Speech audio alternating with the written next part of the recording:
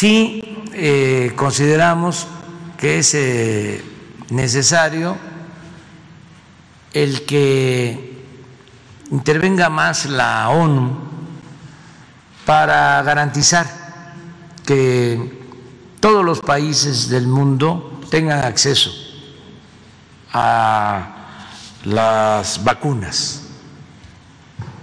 Nosotros presentamos una resolución en la ONU desde hace seis meses, que fue aprobada casi por unanimidad, con este propósito de evitar el acaparamiento de eh, medicinas y de vacunas, porque se trata de derechos humanos, del derecho a la salud, del derecho a la vida, que es el principal de los derechos humanos.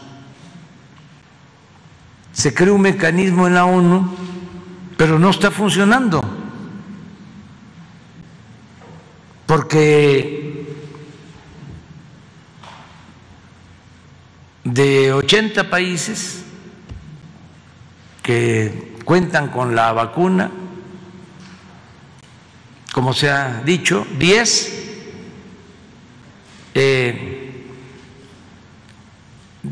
están concentrando el 80% y el 70 restante donde estamos nosotros y muchos otros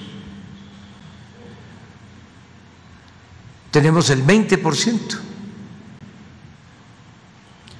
Pero hay más de 100 países que no tienen una sola dosis de vacuna. Eso es totalmente injusto.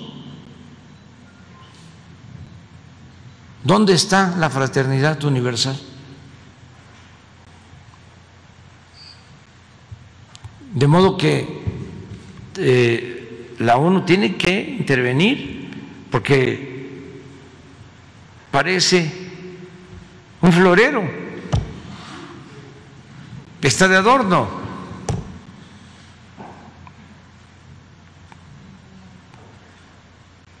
Y es un acuerdo de todos los gobiernos que se tiene que hacer valer en esto, pues coincidimos la mayoría de los pueblos. Yo quiero eh, agradecer a farmacéuticas, a gobiernos extranjeros que nos están ayudando. Eh, lo inaceptable que resulta el acaparamiento de las vacunas.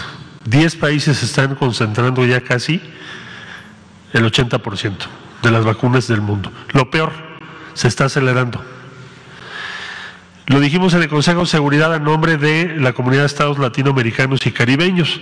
Decir, bueno, nosotros siempre hemos creído en los organismos multilaterales, pero ahora ustedes, quienes conforman este Consejo de Seguridad, tienen que demostrarnos que esa confianza y ese compromiso que ustedes postulan se traduzca en hechos en este momento.